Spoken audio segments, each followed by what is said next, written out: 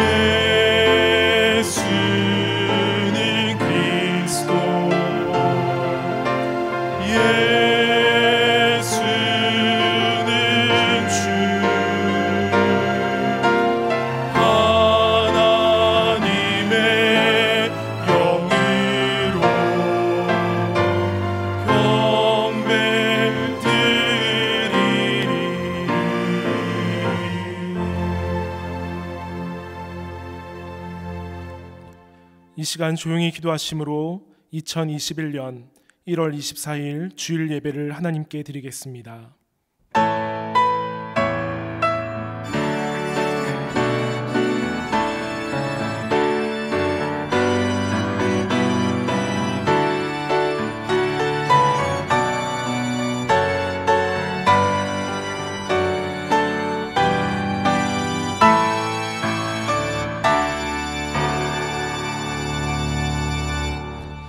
거룩하신 하나님 아버지, 오늘도 우리들을 예배의 자리로 불러주시고 살아계신 하나님을 찬양하게 하시니 감사를 드립니다. 오늘 예배의 모든 시간을 통하여 예수님을 말씀으로 깊이 만나는 시간 되게 하여 주시고 상한 심령을 가지고 예배드리는 자들에게 하늘의 놀라운 위로가 임하며 우리 안에 사라진 감사가 있었다면 감사의 회복이 시작되게 하여 주시옵소서. 지난 한 주간 우리의 삶이 광야 가운데 있었습니까? 오늘 이 예배 가운데 성령을 부어 주셔서 그 광야를 걸어낼 수 있는 힘과 능력을 더하여 주시고 주님 손 꼭 붙잡고 동행하게 되는 은혜의 시작점이 되게 하여 주시옵소서.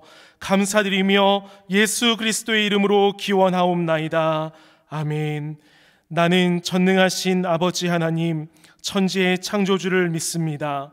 나는 그의 유일하신 아들, 우리 주 예수 그리스도를 믿습니다. 그는 성령으로 잉태되어 동정녀 마리아에게서 나시고 본디오 빌라도에게 고난을 받아 십자가에 못 박혀 죽으시고 장사된 지 사흘 만에 죽은 자 가운데서 다시 살아나셨으며 하늘에 오르시어 전능하신 아버지 하나님 우편에 앉아 계시다가 거기로부터 살아있는 자와 죽은 자를 심판하러 오십니다. 나는 성령을 믿으며 거룩한 공교회와 성도의 교제와 죄를 용서받는 것과 몸의 부활과 영생을 믿습니다. 아멘. 모두 자리에 앉으셔서 찬송가 391장 함께 찬송하시겠습니다.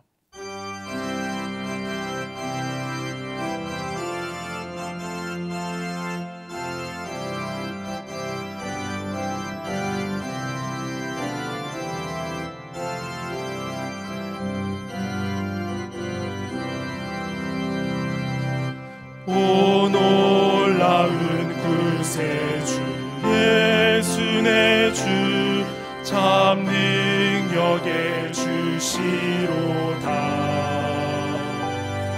금바위 및 안전한 그곳으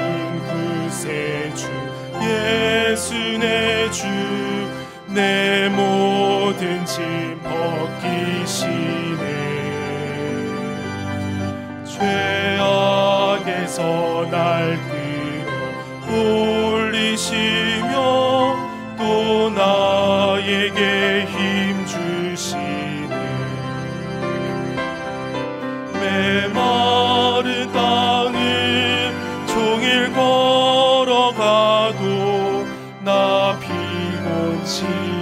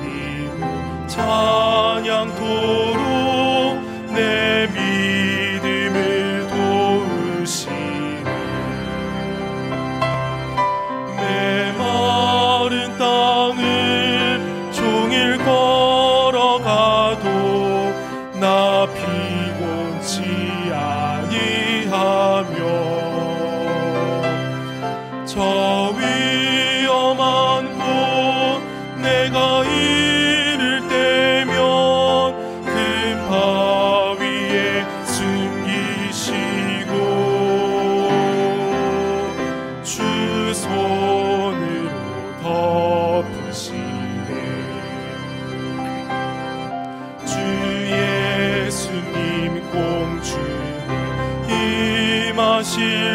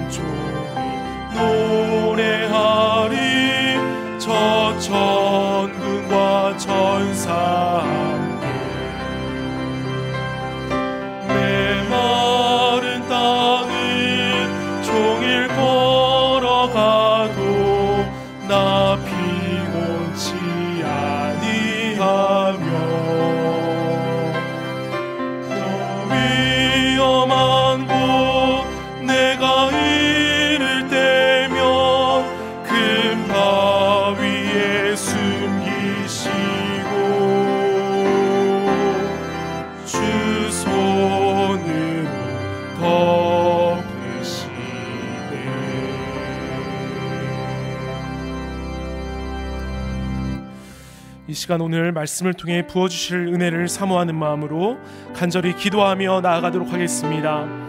사랑의 주님 이 시간 간절한 마음으로 간구하며 나아갑니다. 주여 성령을 부어주시옵소서. 지금 우리가 드리는 이 예배를 받아주시옵소서. 십자가의 보혈이 우리 모든 성도님들의 머리부터 발끝까지 타고 흘러내려가 주님을 깊이 경험하는 시간 되게 하여 주시고 또 주시는 말씀을 통하여 성령의 은혜로 우리 안에 펼쳐진 광야가 숲이 되어지는 놀라운 역사가 일어나게 하여 주시옵소서. 주님 말씀이 육신되어 오신 주님을 깊이 경험하길 간절히 소망합니다. 말씀 전하시는 목사님 그 입술을 주장하여 주시며 성령님이 말씀하게 하여 주시고 오직 십자가만 성령님만 드러나는 시간 되게 하여 주시옵소서. 그래서 우리 모두가 주와 동행하는 그 역사의 시간이 이 시간 되게 하여 주시옵소서. 하나님 아버지 한 주 동안 우리와 함께 동행하여 주시고 주일을 맞아 예배 드릴 수 있게 하여 주신 것 감사합니다. 주님은 우리와 항상 함께 하시지만 우리는 곁에 계신 주님을 잊고 세상을 바라보며 헛된 것들에 마음을 빼앗기고 살아가고 있습니다. 우리의 연약한 믿음을 용서하여 주시고 주님만 오직 길이고 생명이라는 것을 기억하며 주님의 손을 꼭 잡고 바른 길로 갈 수 있게 하여 주시옵소서. 코브스로 인해 육신이 아프고 마음이 힘들어진 사람들이 많이 있습니다. 그들의 상처를 어루만져 주시고 오직 주님만 주실 수 있는 평안으로 위로하여 주시옵소서. 이 바이러스를 통해 많은 것을 알게 하여 주시고 깨닫게 하여 주신 것 감사합니다. 이 고난의 시간이 끝날 때까지 지치지 않고 끝까지 견디며 인내할 수 있도록 인도해 주시옵소서. 오늘 말씀을 전하시는 고범석 목사님과 함께하여 주시고 영과 진리로 아버지의 복음을 전할 수 있게 하여 주시옵소서. 받은 이 복음을 통해 우리의 마음이 주님의 마음을 담게 하여 주시고 주님의 사랑으로 세상을 품을 수 있는 믿음이 되게 하여 주시고 오늘 드리는 이 예배가 온 마음과 힘을 다해 드리는 예배가 되게 하여 주시옵소서. 주님을 섬기며 교회를 위해 힘써 일하는 모든 교역자와 성도들과 함께 하여 주시고 주일 학교를 섬기는 교사들이 힘든 상황에서도 하나님이 주신 지혜로 아이들을 인도할 수 있게 하여 주시옵소서. 또 소그룹을 섬기며 이끌어가는 소그룹 리더들에게 지혜와 능력으로 축복하여 주시고 기쁨으로 사명을 잘 감당할 수 있게 하여 주시옵소서. 하나님 아버지 주님의 명령을 따라 세계에 나가 복음을 전하는 선교사님들을 축복하여 주시고 사명을 잘 감당할 수 있는 능력을 주셔서 맡은 선교지에 생명의 기쁨을 전할 수 있게 하여 주시옵소서. 유아부부터 청년부 EM에서 드리는 모든 예배들을 받아주시고 지금 이 예배가 성령님께서 인도하시는 예배가 되게 하여 주시고 이 모든 말씀 살아계시고 우리와 항상 동행하시는 예수 그리스도의 이름으로 기도드립니다. 아멘.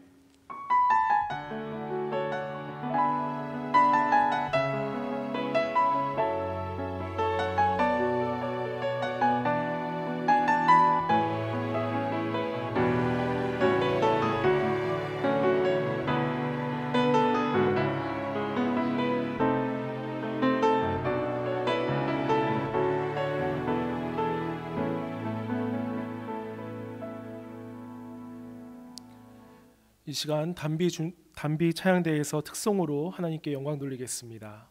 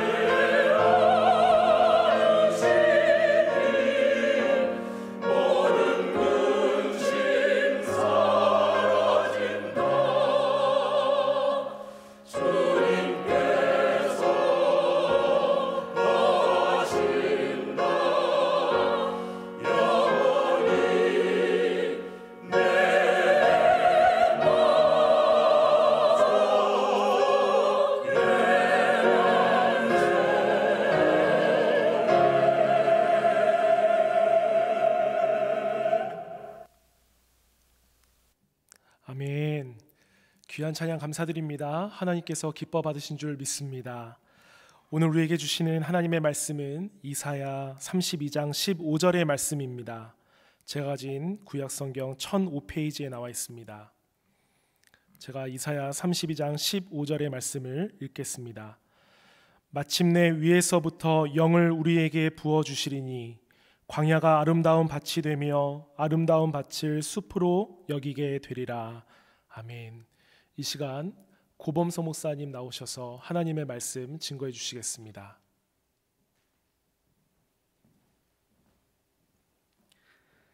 우리 함께 기도하겠습니다. 하나님, 우리와 함께 하여 주셔서 감사합니다. 우리가 하나님과 동행하지 못하는 순간에서도 우리를 참아 주시고 기다려 주셔서 우리가 이 자리에 있는 줄 믿사오니 하나님 사랑의 음성을 이 시간 허락하여 주시옵소서 예수님의 이름으로 기도드립니다. 아멘. 오늘 말씀은 광야가 숲이 되리라 라는 제목으로 하나님의 말씀을 전하도록 하겠습니다. 광야는 성경에서 고난과 고통, 그리고 시험과 환란의 장소를 상징합니다. 야곱도 형 에서를 피하여 광야로 도망을 쳤고 다윗도 사울에게서 피해 광야로 도망을 쳤습니다. 그리고 능력의 종 엘리야도 이세벨을 피하여서 광야로 도망을 쳤습니다. 현실의 삶이 너무나 버거워서 도망칠 수밖에 없는 인생들이 어쩌다 보니 거치는 곳이 광야입니다.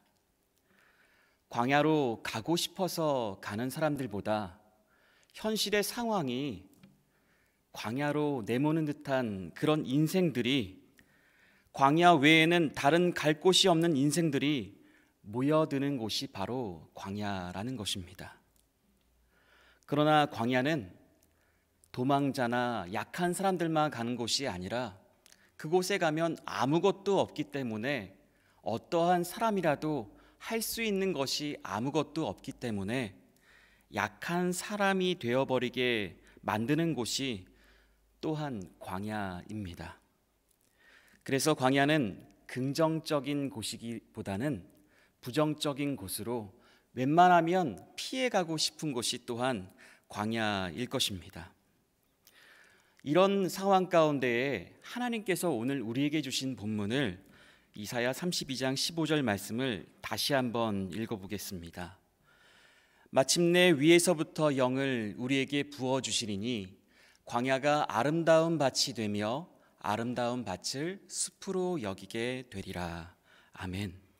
그런데 오늘 말씀을 보면 그 광야가 아름다운 밭이 되며 아름다운 밭이 숲이 된다는 말씀이 기록되어 있습니다. 더 이상 아무런 소망이 없는 인생들이 모인 광야가 숲이 될 수 있다는 것 참 놀라운 은혜의 말씀 아니겠습니까? 다시 말하자면 광야가 누군가에게는 두려움과 절망, 어둠과 공허함이 가득한 곳이 될수 있겠지만 다른 누군가에게는 아름다운 밭으로 결국에는 숲으로 바뀔 수 있는 곳이 될 수도 있다라는 것입니다. 혹시 막막한 어려움을 만나서 외롭고 지치고 공허하고 메마르고 주저앉아서 이제 모든 걸 다 포기해 버리고 싶은 그런 분들이 함께하고 계십니까? 오늘 이 말씀을 통하여서 그 광야가 숲으로 변화되는 놀라운 은혜가 함께할 줄 믿습니다. 광야가 숲이 되는 삶을 살기 위해선 우리가 먼저 주목해야 될 단어가 오늘 본문 가운데 처음 등장을 하는데요. 바로 마침내입니다. 마침내 위에서부터 이렇게 나오고 있는데 이 마침내라는 단어는 마침내라는 그런 단어를 기준으로 이전과 이후가 분명히 달라진다라는 것을 의미합니다. 본문 가운데 마침내 이후의 상황은 광야가 숲이 된다는 회복의 메시지가 담겨져 있습니다. 반면에 마침내 이전의 상황은 계속해서 절대 숲으로 변하지 못하는 광야의 삶이 지속되어 올 것이다 라는 그런 반전의 메시지가 담겨져 있을 수밖에 없습니다. 오늘 본문이 담겨져 있는 이사야의 시대적 상황을 고려해 본다면 예루살렘의 성이 그 성의 황폐함이 계속될 것을 암시하고 있습니다. 다시 정리해 보면 바벨론의 침략으로 멸망한 예루살렘 성이 포로에서 돌아온 사람들의 복원 작업으로 다시 회복이 될지라도 흩어져 있던 사람들이 다시 돌아와 북적거리며 함께 거주할지라도 영적으로는 메마른 삶이 계속될 것이다라는 것을 의미하고 있습니다. 이와 같이 겉보기엔 모든 것이 다 괜찮아 보이는 그런 회복의 삶을 살아가는 것처럼 보이지만 그 속은 아직도 메마른 광야 같은 상황이 계속될 것을 의미합니다. 아마 우리들 가운데에서도 이러한 삶을 살고 계시는 분들이 분명히 계실 것입니다. 겉으론 정말 괜찮게 살아가고 있지만 늘 공허하고 외롭고 나만 실패한 것 같고 그런 광야 같은 마음으로 살고 계신 분들 오늘 잘 오셨습니다. 오늘 하나님께서 당신의 광야가 우리의 광야가 숲이 되길 원하고 계십니다. 그래서 이 예배에 지친 우리의 발걸음을 인도하여 주신 줄 믿습니다. 그렇다면 이 메마른 광야 같은 삶에서 벗어날 수 있는 방법은 무엇이 있을까요? 오늘 본문 가운데에서는 이렇게 말씀하고 있습니다. 마침내 위에서부터 영을 우리에게 부어 주시리니 위에서부터 영을 우리에게 부어 주셔야 이러한 삶이 가능합니다. 위에서부터 영을 부어 주신다는 것은 오순절 성령 강림 사건에 대한 예언의 말씀으로 우리가 받을 수 있습니다. 그에 대한 사도행전 본문을 살펴보면요. 오순절 날이 이미 이름에 그들이 다 같이 한 곳에 모였더니 호련히 하늘로부터 급하고 강한 바람 같은 소리가 있어 그들이 앉은 온 집에 가득하며 오순절에 마가의 다락방에 모여 기도하는 자들에게 하늘로부터 성령이 임하였습니다. 성령은 위로부터 하늘로부터 임하시는 것입니다. 그런데 어떤 분들은 성령님을 자신이 부릴 수 있는 것으로 착각하는 분들이 있습니다. 이상한 소리를 내면 또 장풍을 보내는 것 같은 그런 포즈를 취하면 성령님이 내 뜻대로 움직일 수 있다고 착각을 하는 분들이 있다는 것입니다. 사도들이 성령 사역을 하는 때에 시몬이라는 사람도 그러한 능력이 너무나 부러웠습니다. 그래서 이와 같이 행하였는데요. 시몬이 사도들의 안수로 성령 받는 것을 보고 돈을 들여 이르되 이 권능을 내게도 주어 누구든지 내가 안수하는 사람은 성령을 받게 하여 주소서 하니 시몬 참 어이없다. 어떻게 돈으로 성령을 사려고 그래? 그렇게 생각하시는 분들이 분명히 계실 것입니다. 왜냐하면 저도 그렇게 생각을 해봤기 때문에 그렇습니다. 그런데요, 만약 우리들의 광야 가운데에 언제 나올지 앞이 보이지 않는 그 깜깜한 그곳에서 여러분이 가지고 있는 우리가 가지고 있는 그 돈으로 그 광야에서 벗어날 수 있다면 돈으로 해결하지 않고 그냥 그 광야에 계실 수 있는 분이 혹시 계실까요? 하나님 믿는다고 하면서 하나님 의지한다고 하면서 돈으로 해결할 수 있으면 돈으로 해결할 수 있는 게 지혜로운 삶이라고 그렇게 우리는 생각하며 살아오지 않았습니까? 시몬이야 뭘 잘 몰라서 돈으로 성령을 살 수 있다고 생각했기 때문에 실수해서 한 행동이라고 볼 수 있겠지만 하나님의 은혜로 살기를 원한다면서 가능하면 돈으로 내가 가진 무엇으로 문제를 해결할 수 있다라고 생각하며 하나님 대신에 다른 것을 의지하는 모습이 있었다면 우리는 시몬보다 더 큰 잘못을 범할 수도 있는 사람들이라는 것입니다. 다시 한번 그런 우리에게 하나님께서 말씀하십니다. 마침내 위에서부터 영을 우리에게 부어 주시리니 아멘. 성령님이 우리에게 임재하시는 것은 우리에게 속한 것이 아닙니다. 하나님의 주권적인 부어 주심에 따라서 성령님이 우리에게 임재하시는 줄 믿습니다. 그렇다면 다 하나님의 주권에 달려 있다고 그렇게 하나님께서 말씀하신다면 광야의 삶을 살고 있는 우리는 무엇을 해야 할까요? 그냥 세워라, 내워라, 기다리고 있으면 되는 것일까요? 이런 우리에게 예수님께서는 주기도문에 대해서 말씀해 주시며 이런 말씀을 또한 하셨는데요. 너희가 악할지라도 좋은 것을 자식에게 줄줄 줄 알거든 하물며 너희 하늘 아버지께 아버지께서 구하는 자에게 성령을 주시지 않겠느냐 하시니라. 아멘. 우리는 광야의 삶 가운데에 성령을 구해야 합니다. 우리가 광야의 삶을 살고 있을 때에 우리는 광야에서 벗어날 수 있는 돈과 같은 세상의 물질을 구하는 것이 아니라 위에서부터 우리에게 영을 부어달라고 강구하면 하나님께서 분명히 성령님을 허락하여 주신다라는 그 말씀입니다. 그럼 도대체 위에서부터 영이 우리에게 부어주면 어떻게 광야에서 벗어날 수 있는지가 궁금해집니다. 기도는 분명히 구체적으로 해야 한다라고 교회 학교 때부터 우리는 그렇게 배워왔을 텐데요. 돈을 달라고 건강을 달라고 분명하고 구체적으로 기도해야 내가 이 막막한 광야에서 벗어날 수 있는 것 아니겠습니까? 라고 생각할 수 있겠지만 성령님이 우리에게 임하시면 모든 것들이 다 변할 수 있기 때문에 우리는 성령님을 간구해야 합니다. 왜 성령님을 우리가 구해야 하는지 또한 오늘 본문 가운데에 나와 있는데요. 바로 위에서부터 영을 우리에게 부어 주시리니 광야가 아름다운 밭이 되며 광야가 아름바, 아름다운 밭이 될 수 있기 때문에 위에서부터 영이 우리에게 부어지기를 우리는 기도해야 한다라는 것입니다. 광야는 마실 물조차도 부족한 메마르고 척박한 땅을 의미합니다.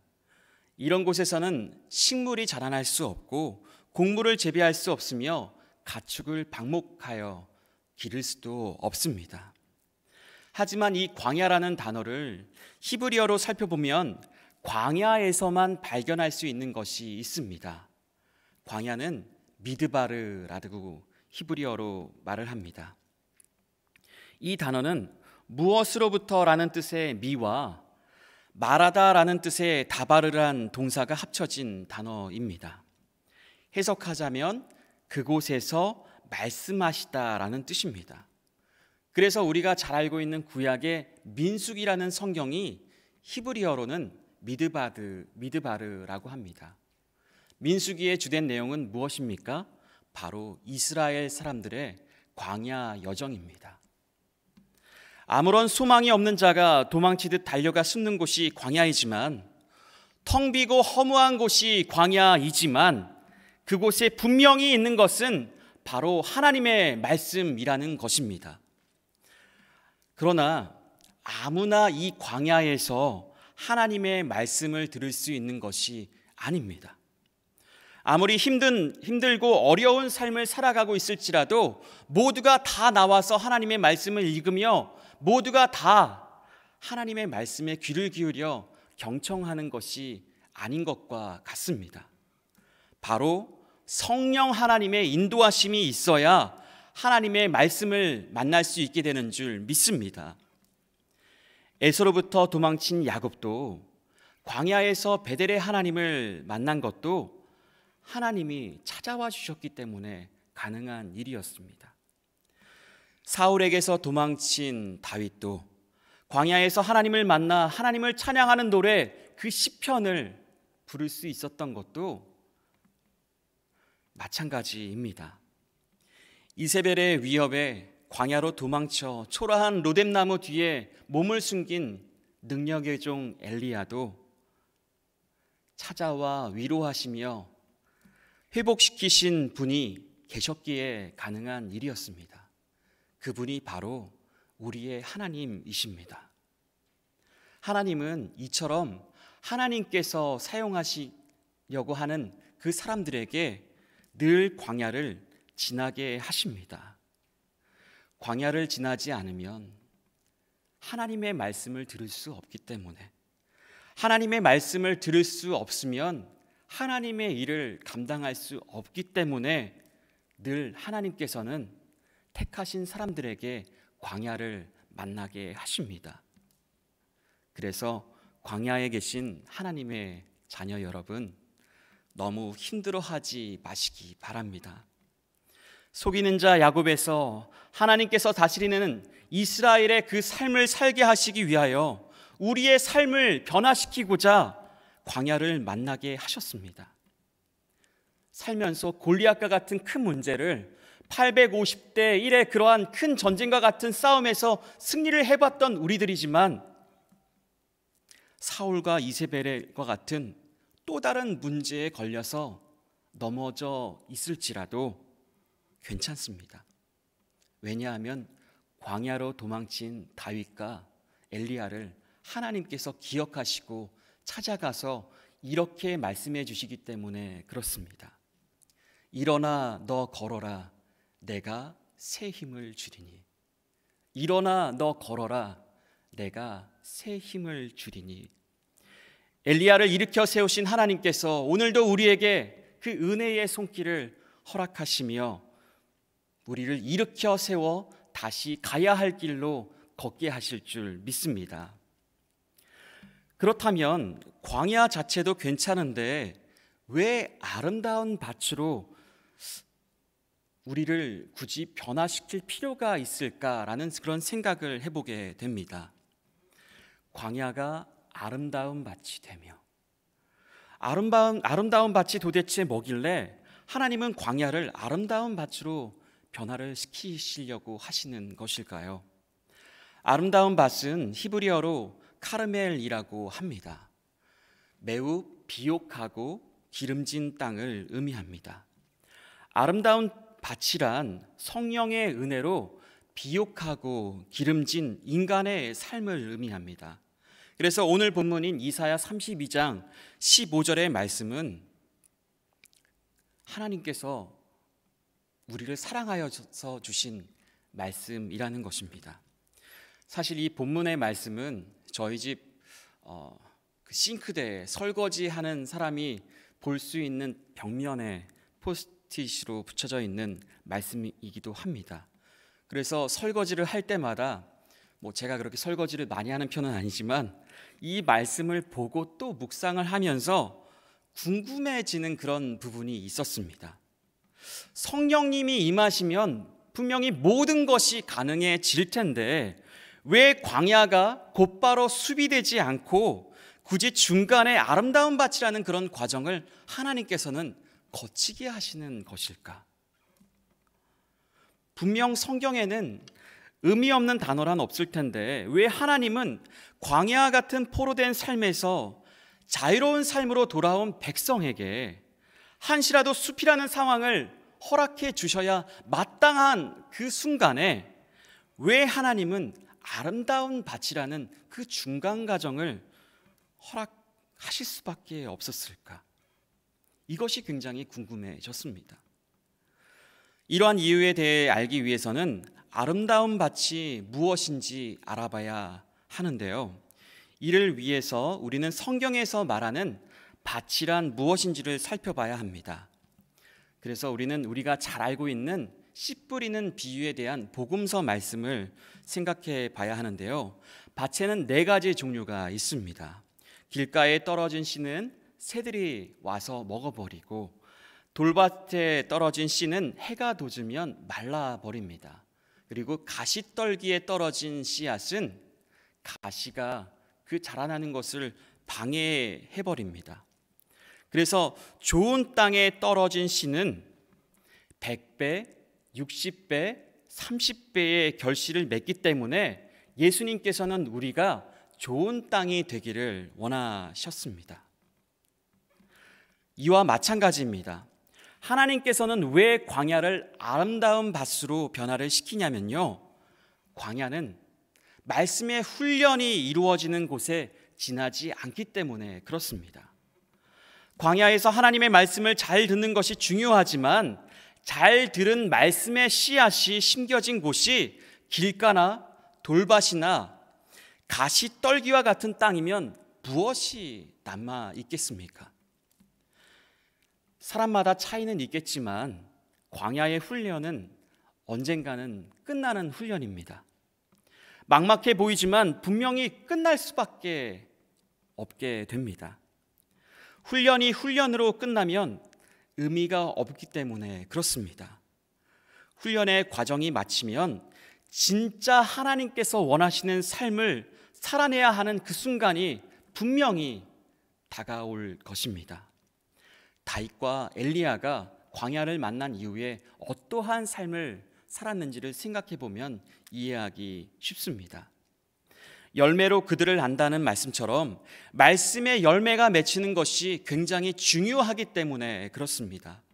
그래서 말씀의 씨앗이 잘 뿌리고 뿌리를 내리고 자라날 수 있는 아름다운 밭이 광야에서 숲으로 변화되는 데에 꼭 필요하기 때문에 하나님께서는 허락하여 주신 것입니다. 그러한 아름다운 밭을 통하여 우리에게 심겨진 말씀의 씨앗이 자라나고 나무가 되어 그 나무들이 모여 숲을 이루는 것이 바로 오늘 본문의 말씀입니다. 하지만 우리는 광야를 걸어가면서 그래도 당장 모든 것이 완벽하게 갖춰진 숲을 꿈꾸기 마련입니다. 하지만 아름다운 밭을 거치지 아니한 숲은 사막의 신기루와 같이 곧 사라져 버릴 수밖에 없는 것입니다. 말씀의 반석 위에 세워진 지처럼 말씀으로 다져지지 않은 땅 위에 세워진 어떠한 것도 오래 갈 수 없다는 것과 마찬가지입니다. 오늘 본문에서도 그러한 포인트를 확인해 볼 수 있는데요. 아, 여기서 두 가지 동사에 좀 하이라이트 된 것을 기억하시길 바랍니다.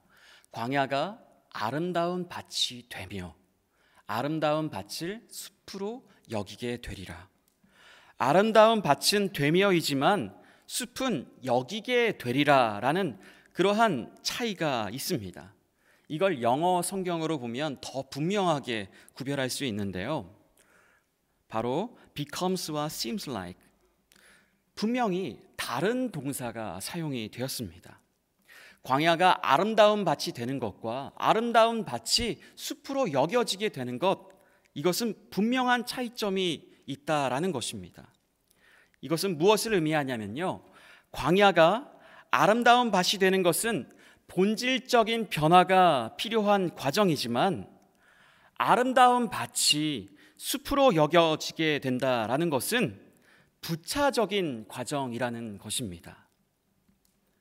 그래서 숲이 되는 것에 너무 목숨 걸 필요가 없다라는 것입니다. 광야의 삶을 살아갈지라도 아름다운 밤만 될 수 있다면 언젠가는 광야가 숲이 되는 그러한 삶이 따라오기 마련이기 때문에 그렇습니다. 말씀을 마무리하도록 하겠습니다. 한 치 앞도 보이지 않는 아무도 도울 수 없는 광야 같은 인생 하나님께서 사용하시겠다 하면 분명히 그러한 인생을 하나님께서는 살게 하십니다. 하지만 그러한 삶을 살아갈지라도 위에서부터 영이 우리에게 부어지면 광야에서만 들을 수 있는 하나님의 말씀을 잘 듣고 열매 맺는 아름다운 밭들이 될 수만 있다면 우리의 삶은 결국엔 숲이 될 줄 믿습니다. 우리가 아름다운 아름다운 밭이 될 수 있다면 하나님은 우리의 심령에 심겨 주신 그 말씀의 씨앗이 무럭무럭 자라나서 나무가 되어 숲을 이루며 누군가가 쉬어갈 수 있는 그 광야에서만 하나님께 올려드릴 수 있는 시편을 하나님께 찬양할 수 있는 놀라운 삶의 은혜를 살게 하실 줄 믿습니다. 함께 기도하겠습니다. 우리의 삶이 광야입니까? 그 가운데에 우리가 하나님께 기도해야 될 것이 있습니다. 하나님 빨리 이 광야에서 벗어나게 하여 주시옵소서 라는 세상적인 기도가 아니라 하나님 이 광야에서 하나님의 말씀을 가까이 하며 하나님과 동행하는 그 훈련을 내가 받길 원하오니 주님 비록 아무것도 보이지 않을지라도 세상과 나는 간 곳 없이 오직 주님만 바라볼 수 있는 그런 훈련 잘 받는 하나님의 성도로 자라나게 하여 주시옵소서. 우리 이러한 그런 은혜를 붙잡고 말씀을 붙잡고 함께 광야에서 마땅히 드려야 될 그 기도를 하나님께 기도하며 나아가도록 하겠습니다.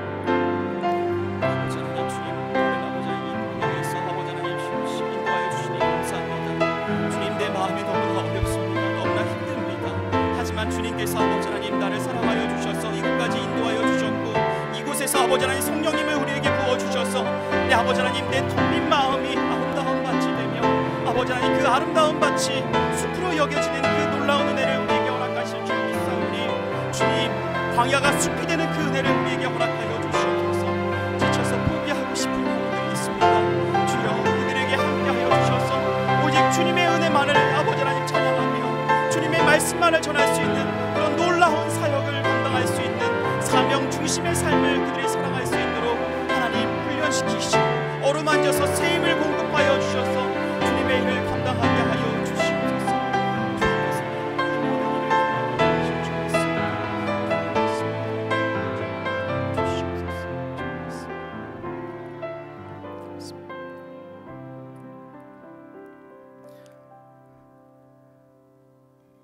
하나님, 우리의 삶을 광야 가운데에서도 인도하여 주시니 감사합니다. 주님 말씀하시면 우리가 듣겠나이다 라는 그 고백이 숲과 같은 상황 속에서 뿐만 아니라 광야 같은 현재의 삶을 살고 있는 우리가 하나님께 올려드릴 수 있는 간절한 믿음의 고백이 되게 하여 주시옵소서. 그 믿음으로 하나님과 동행하며 한 걸음 한 걸음 나아갈 때에 하나님 메마른 땅이 변하여 아름다운 밭이 되며 그 아름다운 밭이 숲으로 여겨지게 되는 그 놀라운 하나님의 은혜를 경험하며 체험하며 나아갈 수 있는 그런 우리 모두가 되기를 간절히 수망하오니 하나님 늘 우리와 동행하여 주시옵소서 예수님의 이름으로 기도하옵나이다. 아멘.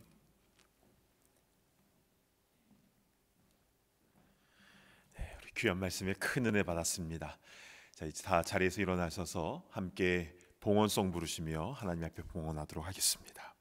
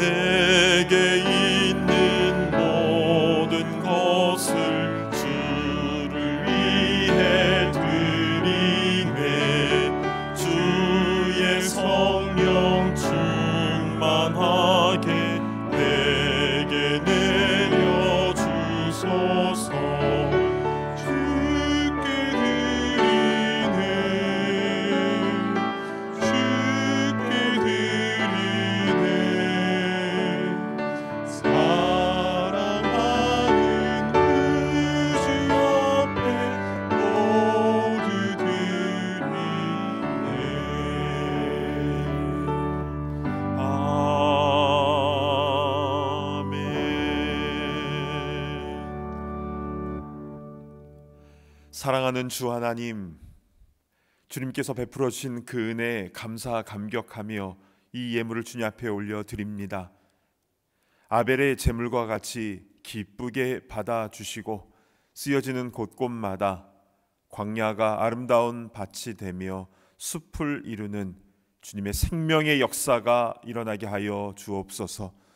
주님, 우리의 상황이 아무리 힘들고 고단하다 하여도 주님께서 성령과 말씀을 우리에게 부어 주실 때에 우리의 마음밭이 변화될 줄로 믿습니다.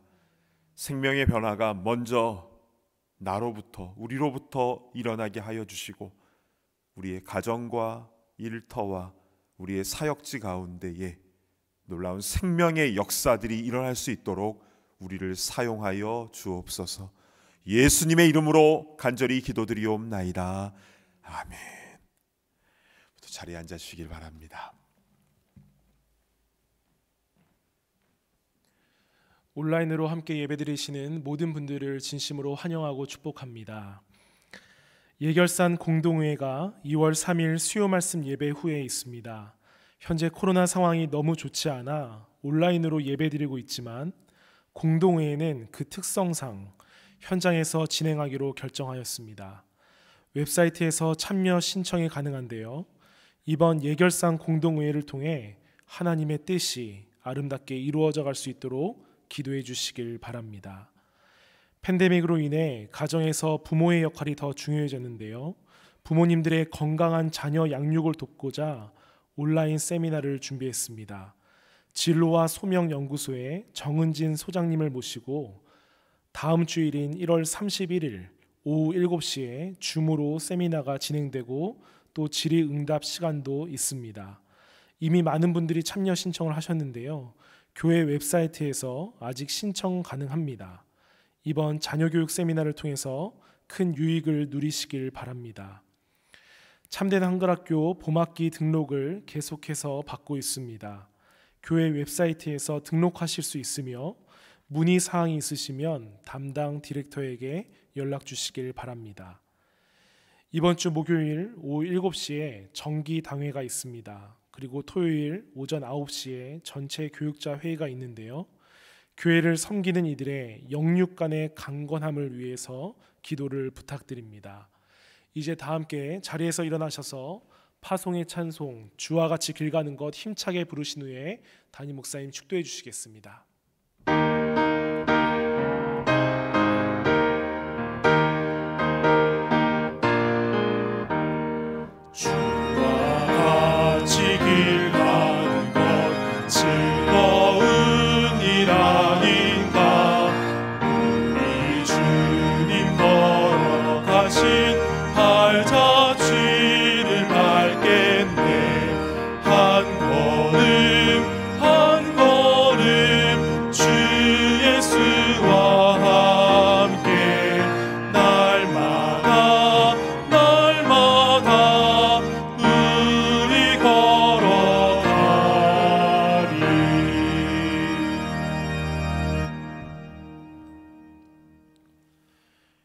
이제는 우리 주 예수 그리스도의 그 크신 은혜와 아버지 하나님의 무한하신 사랑하심과 성령님의 감동, 감화, 충만하심의 역사가 광야 같은 우리의 인생이지만 그러나 주님께서 말씀과 성령을 부어 주실 때에 그것이 아름다운 밭으로 또한 주님의 숲을 이룬다라는 그 사실을 분명히 믿고 간구하며 나아가는 모든 주의 권속들 머리머리 위에 우리의 가정과 우리의 삶의 현장과 또 모든 사역지 위에 이제로부터 영원토록 함께 있을지어다. 아멘.